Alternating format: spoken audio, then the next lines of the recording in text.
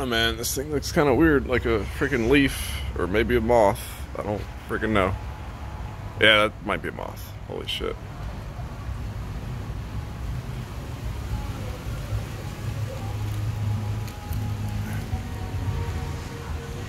Oh yeah.